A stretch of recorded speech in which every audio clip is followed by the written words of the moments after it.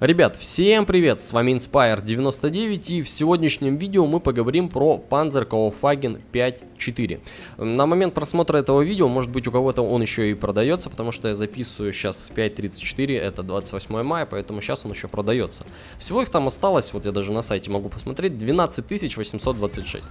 За 5,5 тысяч золота, ну, я считаю то, что это вполне себе хорошо. По факту, забегу вперед, скажу то, что отдать 5,5 тысяч, то есть это сколько? 1100 рублей за данный танк на пятом уровне гораздо рациональнее, чем отдать 15 э, тысяч голды, по-моему, да, отдавали за джедая. Это вообще жесть. То есть это ни в какие ворота не вписывается. Джедай уже не гнет, то есть прошли времена. А вот, вот этот танк гнет. Он реально гнет на своем уровне. Если заглянуть в статистику, есть еще и Panzer Kaufhagen 5.4 Альфа. Он выдавался альфа-тестером. Это были там вообще древние времена. Их на аккаунтах там, может, штук 100-200. Ну и, кстати, наш-то Panzer Kaufhagen 5.4, они, кстати, абсолютно одинаковые, там альфа просто. Э, на нем-то тоже сколько там тысяч было? Тысяч 20-30. Все, то есть их мало было. Это реально редкий танк заполучить в ангаре. Поэтому, если вы просматриваете данное видео и у вас есть 5,5 тысяч голды, ребят, реально, как бы, это того стоит. То есть, это танк того стоит. Загляните в процент побед. Вот смотрите, 70 и 35 на альфа, ну, потому что альфа-тестеры, понятно, не играют хорошо. На нашем 59 и 92. То есть, одинаковые танки, одинаковые. Вы можете, если вы супер скилловый игрок, вы можете отличный процент побед держать на этом танке. Если вы играете взводом на них, это просто капец. Это будет хана. Ну и по, по урону мы тоже, кстати, в топе. На первом 794, на втором 727. То есть и по урону, и по проценту побед. Давно я не встречал, чтобы вот прям так танка и по проценту побед, и по урону тащили. Два вот, два из двух. Это прям жестко. Э, а все почему? Потому что у нас здесь вот хоро э, хорошие показатели практически по всем.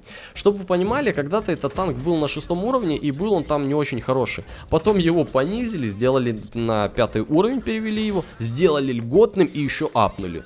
То есть это, ну, очень жирный ап. И тогда, конечно, он заиграл апнули орудие. Ну чтобы вы понимали, кстати, из названия Panzer Kaufhagen 5.4 понятно то, что башня от, э, точнее корпус от Пантеры, который на седьмом уровне, потому что Panzer Kaufhagen 5, а башня от Panzer Kaufhagen 4. Башня рыхлая, но не сказать, чтобы ее прям все пробивать. Нет, она и башня может иногда что-то потанковать. Там даже в башенке около 90 мм, 90-95, то есть даже не каждый ствол туда вас пробьет в башенку. И также вокруг башни есть там э, экранчики, на, по бортам фальшборта есть. Ну, вообще корпус рыхлый. Но иногда вот фальшбортами что-то танканет. Вся фишка в броне это, конечно, передок. Все-таки 85 без приведенки это много, а с приведенкой получается около 150.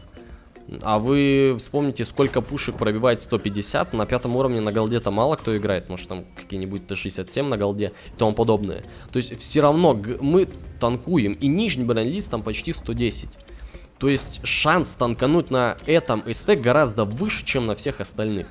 Поэтому у нас броня есть, у нас хорошее орудие, мобильность. Обзор, я считаю, тоже. Единственное, то, что незаметность. Но если посмотреть с другой стороны, э, большая мобильность и большой размер можно использовать как таран. Поэтому тут такое себе. Ну, сказать то, что мы прям вот вообще везде светимся, нет. Но, в принципе, в принципе, данный танк лучший на своем уровне. Честно, я не знаю танк, который вот лучше, чем вот этот. Серьезно. Интересно будет то, что вот французец выйдет за, за марафон. Это тоже интересно, многие его получат. Но самое токсичное, самый токсичный танк на пятом уровне это левша, то есть вообще без вариантов. Левша это просто жесть. Но вот Panzer Kaufhagen 5.4 очень хорош. И если вы просматриваете этот видос, не пожалейте, ребят, купите. То есть это реально танк того стоит. Я вот советую вам от чистого сердца, серьезно. То есть, ну, давно я так не советовал какой-то танк заполучить. Во-первых, он редкий, ну и во-вторых, на нем можно очень-очень жестко поднимать ВН-8, потому что показатели на нем можно делать хорошие, а на руках он у небольшого количества игроков. То есть, чтобы вы понимали, в статистике на этом танке, ну, за последнее время, конечно, их до этого не так много было, 172 тысячи боев. В то время как на Т-67 22 миллиона. На, не знаю, на левше том же 3,5 миллиона, то есть мало, поэтому на нем можно нагибать.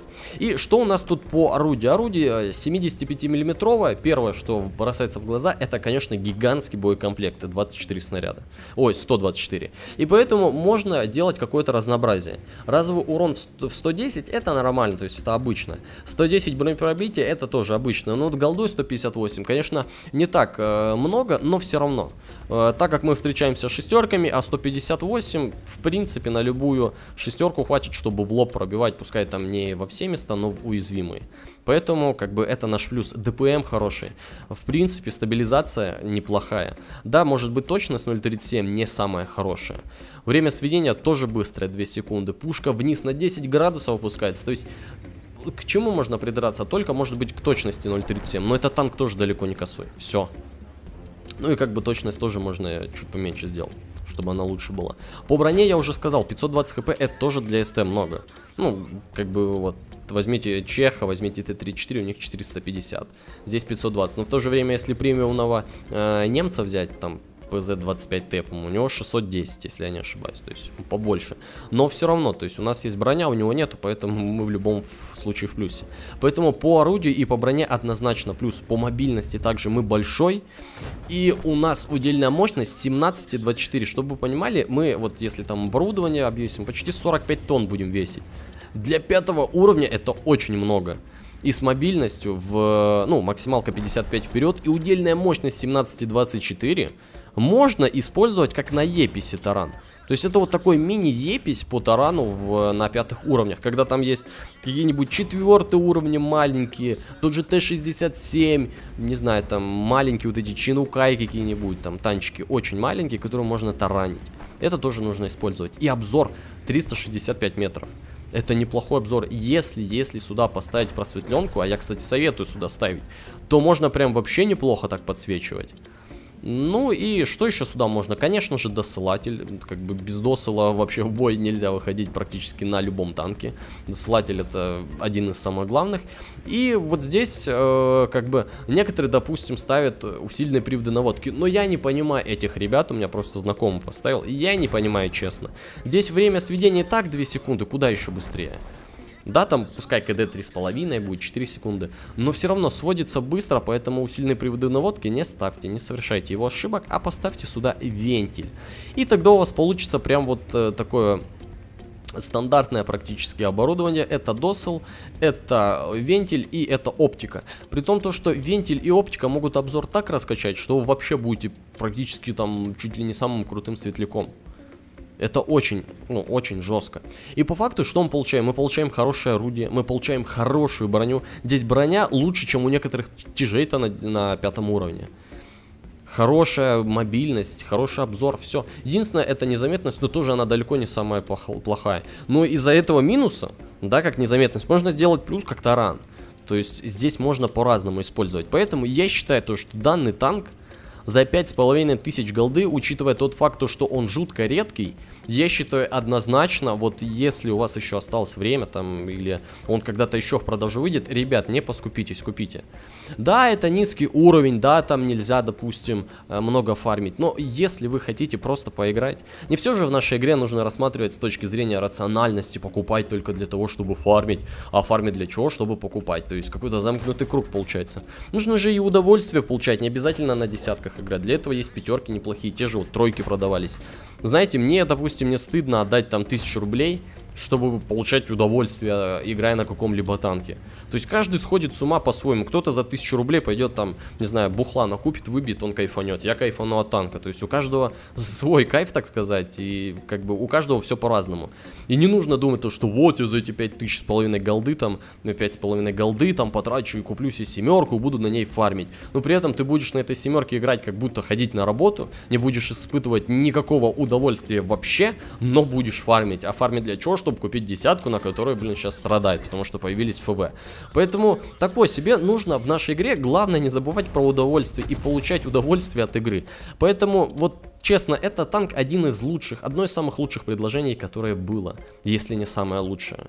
Поэтому к данному танку присмотритесь, ребят, от души честно советую. Это не реклама, как бы, ну, у меня канал 10 тысяч, у меня просмотров там на видосах не так много собирается, кто меня-то проплачивать будет?